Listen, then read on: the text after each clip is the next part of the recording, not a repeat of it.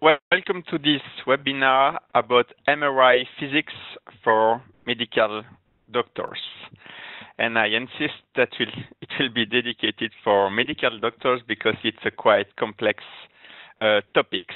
I'm Dr. Laurent Hermoye and I am the CEO of Imagilys. So what we will try to understand in this webinar is how the complex machine with a very large magnet, we are making this image, which is a T2 spin echo image, and this image, which is an EPI image for functional MRI. You will see that it's quite complex. So you have all seen the MRI scanner. That's a very big tunnel with a very high magnetic field. And what we will do in this webinar is to try to understand what is happening inside this machine and what can create the image. If the title was MRI Physics for Physicists, I would tell you that it's very easy and that it's simply the consequence of Bloch equation. But I'm not sure that all of you are very familiar with this kind of equation, so I will try to make it a bit more user-friendly and understandable. As I, as I promised, it's a webinar for medical doctors. But we need to come back a little bit to some notion of physics which are necessary in order to understand how it works. So first, electromagnetism. You have all seen a magnet. Uh, a magnet is very current in, in, in, life. For example, you can put some on your fridge.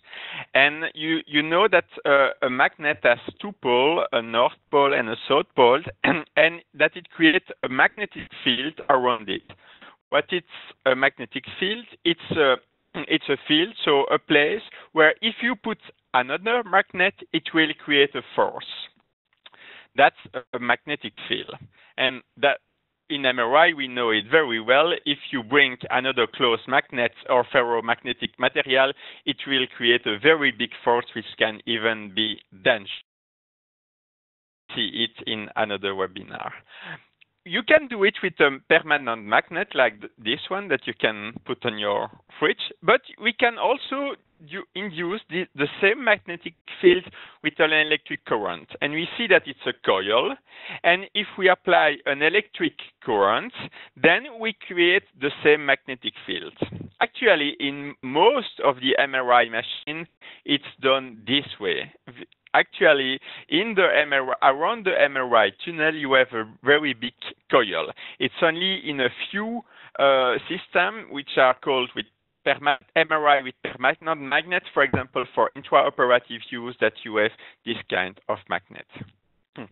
Another phenomenon that you need to understand, because it's how we receive the signal in MRI, the electromagnetic induction. So we will make a very simple physics experiment here.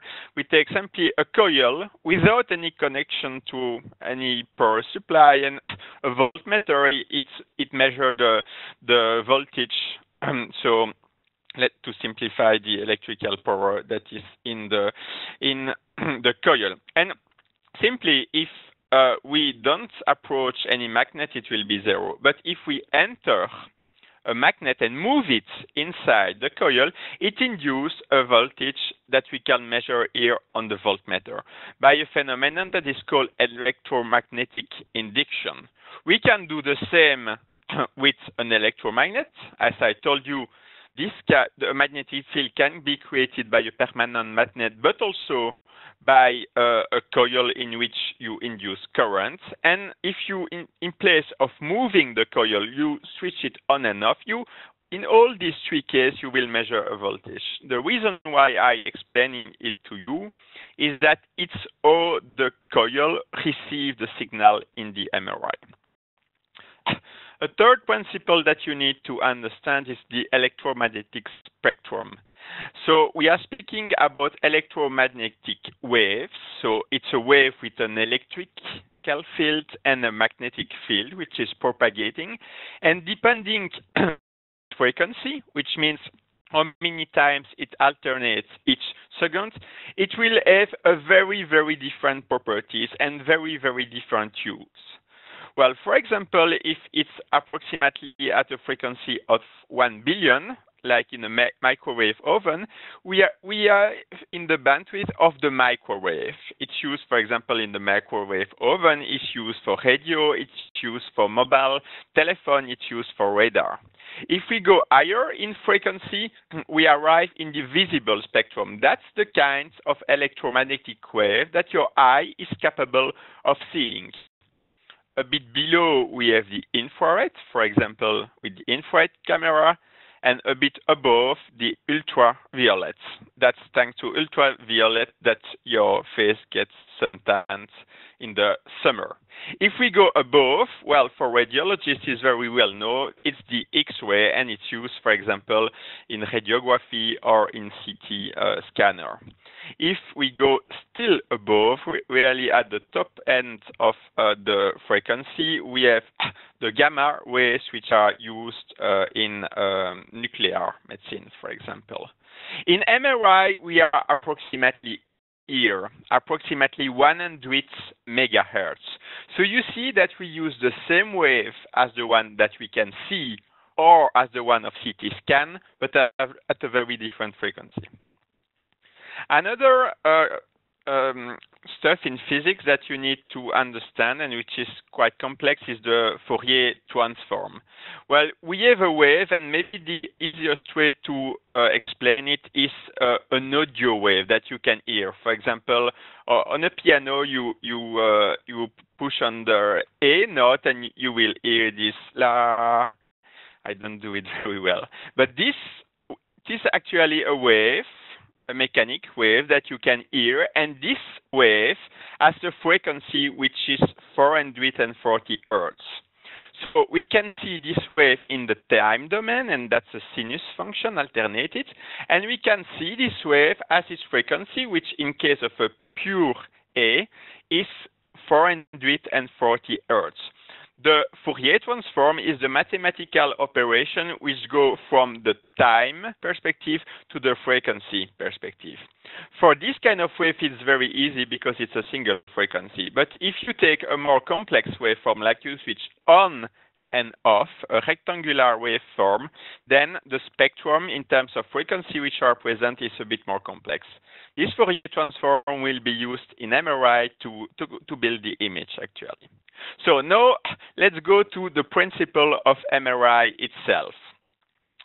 So our body is full of protons, which are hydrogen atoms, and which are mainly in two molecules, which are water and fats. And for some complex reason, which is explained by quantum mechanics, these protons have a magnetic moment which is called a spin. So these protons they behave like a, a small magnet, and that's why I, I, have put a north and a south to to show you that actually these are these are small magnets. But I, I won't use this north and south to hold the course because it would make the illustration very complex. So I will make, simply draw an arrow, and we will see this arrow a lot of time in, in the next slide, and we call it a spin. Hmm. So if we are outside, like now, our spin are in all direction because there is no reason that they have a preferential direction. But if we enter the patient in the magnet and look at the B0 field, the 3 Tesla of the magnet, then they will align because they are in a magnetic field and you know that a magnetic field can induce a force on another magnet. So they all align and the resultant, if we combine all these small arrows, is one big arrows, which is the sum of a lot of smaller contributions. Hmm. so in all the illustration that I will use, the B0 is the direction of the magnetic field. For example, the 3 Tesla magnetic field, that's the axis of the tunnel. And we see these are the spin. The spin I have shown you what means this arrow, and we will see again that actually this row is a sum of a lot of smaller contribution. if we can perturb and de-align a bit these, these spins, we see that it turns. and we see it turns uh, with uh, a certain frequency, which is called the Larmor frequency. And that's a very important concept in, in magnetic resonance. This Larmor frequency, it's an equation, but it's relatively simple. You take the strength of the magnetic field, for example, 3 Tesla, and you multiply it by a constant, which is called the gyromagnetic ratio, which is approximately 42 megahertz per Tesla. So if you do it for 3 Tesla machine, that's approximately 128 megahertz. That's the Larmor frequency, and this motion is called a motion of precession around the B0 axis. But if we don't apply any uh, force, it, the, the spin, they will stay aligned with the B0. So we need to do something to de-align them. Otherwise, they will just stay aligned with the B0. So what we will do is that we will use an emitting coil. That's this drawing is the coil. The coil, it's for example the birth cage coil that you see around the patient's heads. And you, you will see that it's usually both an emitting coil to emit signal and a receiving coil to receive signal. When it's blue, it's emitting. When it's wet, in my illustration, it's receiving. So what do we do here? We apply um, an electromagnetic wave at the Larmor frequency. And if and only if it's at the right frequency, at the Larmor frequency, then it will make our spin rotate here, for example, 90 degree because it's a 90 degree pulse and go here in the transverse plane. So I insist that this condition is only met if we apply here an electromagnetic wave at the right frequency. That's typical of a resonance. A resonance is a phenomenon that occurs only at a specified frequency and not at another one. And that's why it's called magnetic resonance imaging. we'll see that in most of the case, this uh, the the um, electro the pulse that we will apply will be to induce a rotation or 90 degree or of 180 degree. So we apply it in the coil and we move our spin in the transverse plane. So we do the same. We apply it, moves in the transverse plane. And now there is a moving electromagnetic field and our coil receives it. Why? Because of the phenomenon that I have shown you in the beginning. If we take a, a coil and that it receives a, a, a, varying magnetic field, which is the case here, it induces a voltage in the coil. And that's how the coil can receive some uh, signal. I'm sure that you will find this webinar a bit more complex than the other ones, which are more clinical, but magnetic resonance is really a complex phenomenon, and I'm trying to, to make it as user-friendly as I can. So we apply the 90 degree uh, pulse, it's emitting, and now it, because of electromagnetic induction, it's receiving something in the coil. Let's continue. Here we will apply a 180 degree pulse and we'll see that it totally rotates the spins, but that naturally they will come back to their equilibrium space, look, no, which is uh, along the main magnetic field. So we apply a 180 degree pulse, it totally inverts the direction of the spin and it naturally comes back to a phenomenon which is called T1 relaxation. And T1, I'm sure that all of you have already heard it when we make a T1 weighted image. So this T1, it's a relaxation time. And you see that it's the time that it takes for the signal to be at a certain percentage of its maximum value. It progressively and naturally go back to its equilibrium value through T1 relaxation. Another relaxation is the T2 and T2 star relaxation. And you, you know that we can make T2 or T2 star with weighted images. So this relaxation is because of the interaction between the spin and can, can has two causes. The inhomogeneity caused by the other spins, because you have really a lot of spin in the body, and also other inhomogeneities because of the machine, because of the susceptibility. For example, uh, at the interface between air, brain, uh, and, and uh, bone, for example, in the sinus, and that creates a big artifact on T2 star weighted images, the susceptibility artifacts. So the difference between T2 and T2 star, you see it here, that the T2 star includes the contribution of the inhomogeneity, and that that's why the T2 star weight weighted images are very sensitive to the susceptibility artifact, and we will see some examples later. So now what is this T2 relaxation itself?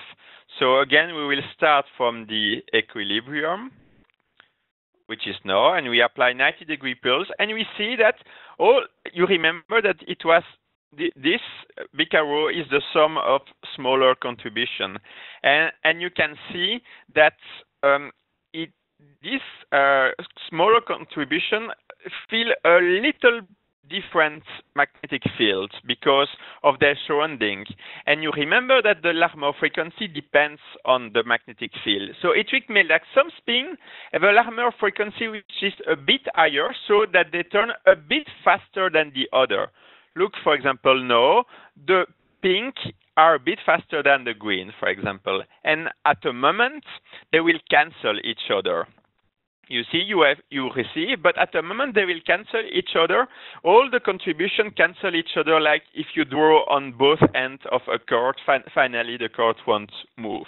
And because they cancel each other, we have a decrease of the signal with a time constant, which is this T2.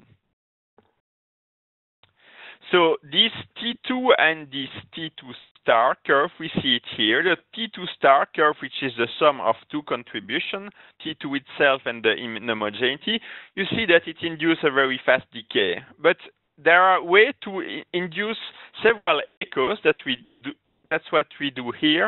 Uh, it's a multi-echo sequence, and if you take the global curve, then you see the T2 decay. So that the very fast T2 star decay, and that's the uh, slower T2 decay. I have shown you these two phenomena uh, separately, the T1 and T2, so that you understand how they work, but actually they occur at the same time. But what's always the case is that the T2 decay is much faster than the T1 recovery.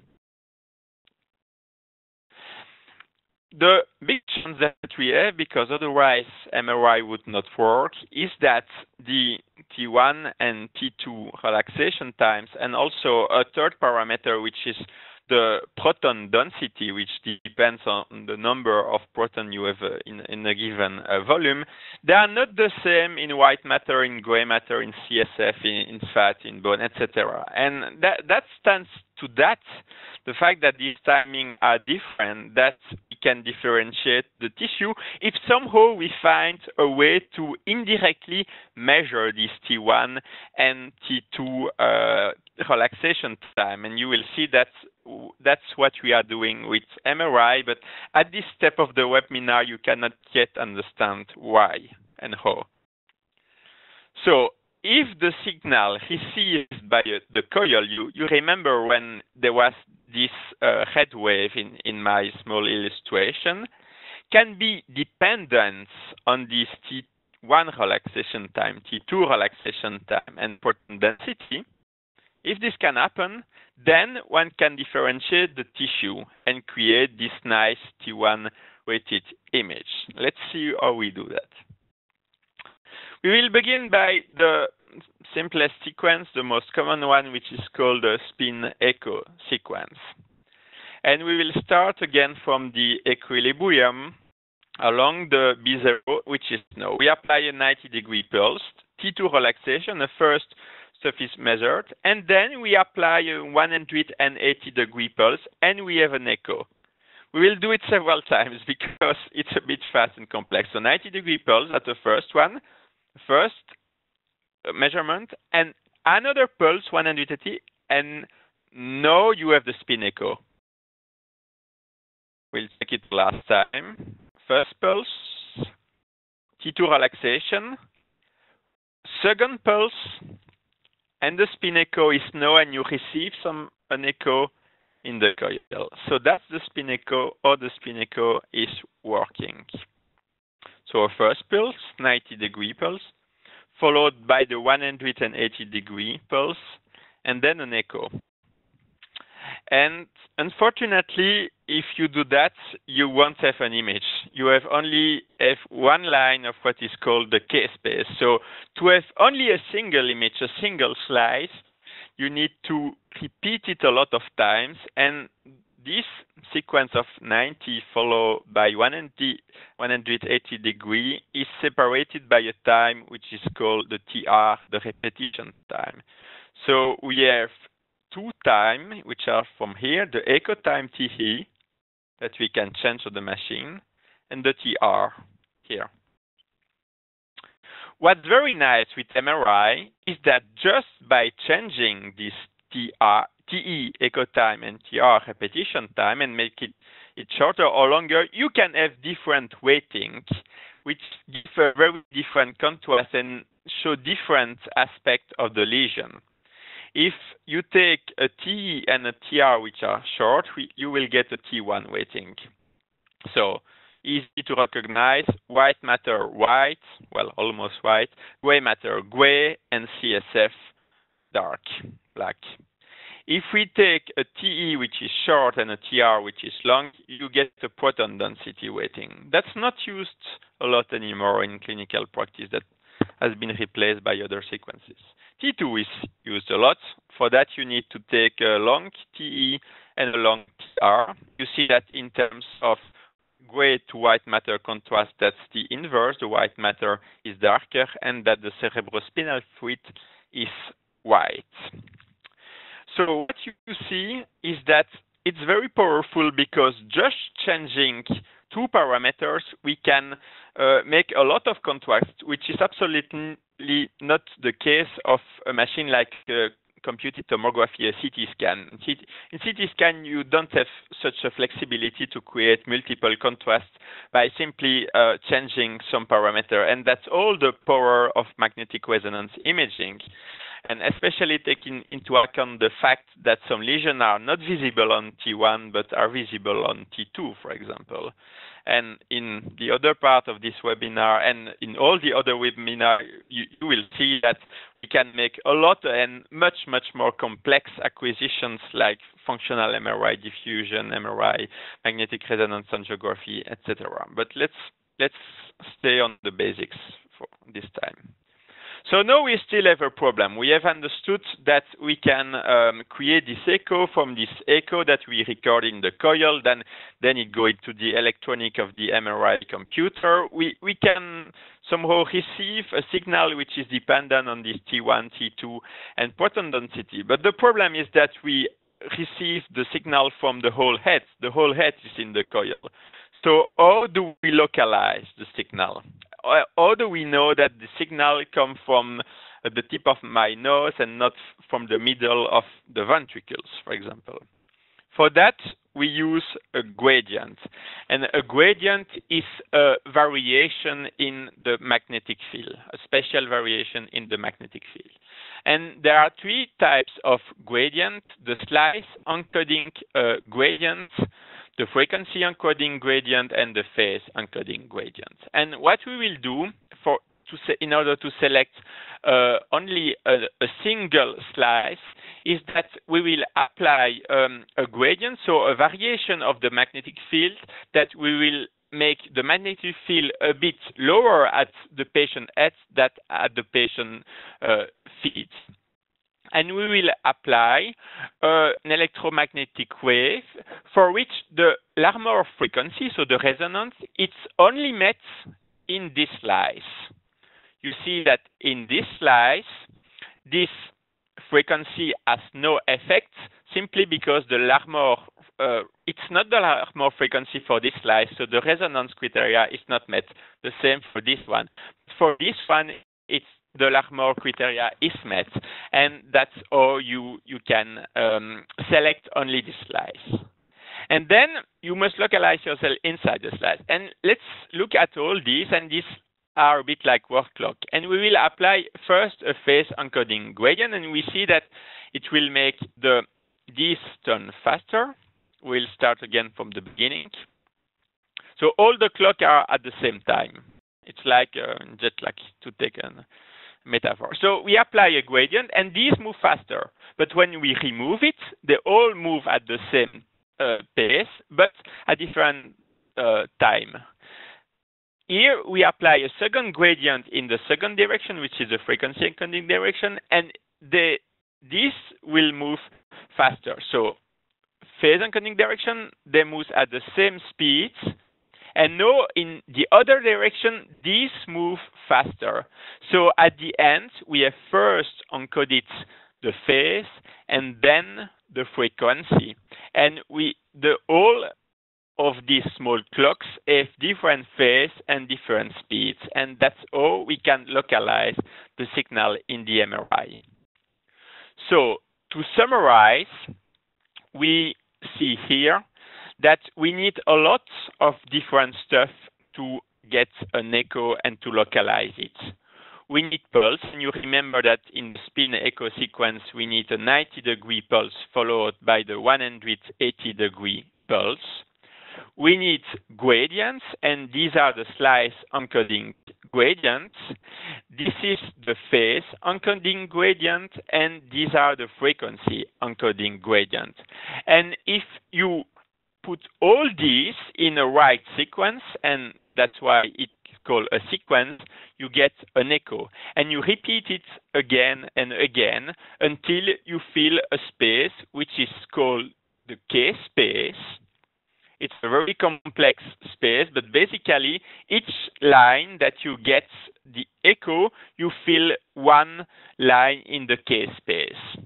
If you look at the K space, it's not an image you have to apply this mathematical operation that I explained you in the beginning in order to um, obtain the MRI image.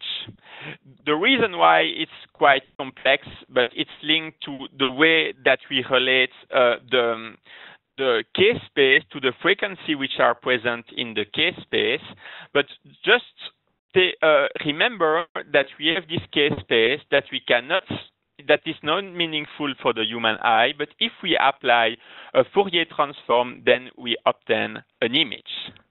So at the end, we get this kind of images, which is a T2 weighted image, and we see that the uh, white matter is darker than the gray matter, that the cerebrospinal fluid is white. And I will stop here for this webinar, which was quite complex, I think, uh, to explain really all the physics of MRI physics. Um, I, I, would need several hours. When I was university professor, it took me six hours. So I suggest that for this time we stop here because we already went from the magnetic fields to the image. So we are we now understand how the, the image is built. And in one of the next webinar, we will uh, explain other pulse sequence, like for example the gradient echo, the FLAIR, the EPI. We will also explain how to optimize optimize image quality uh, and also the problem that you can have in your image like in the artifact. Thank you.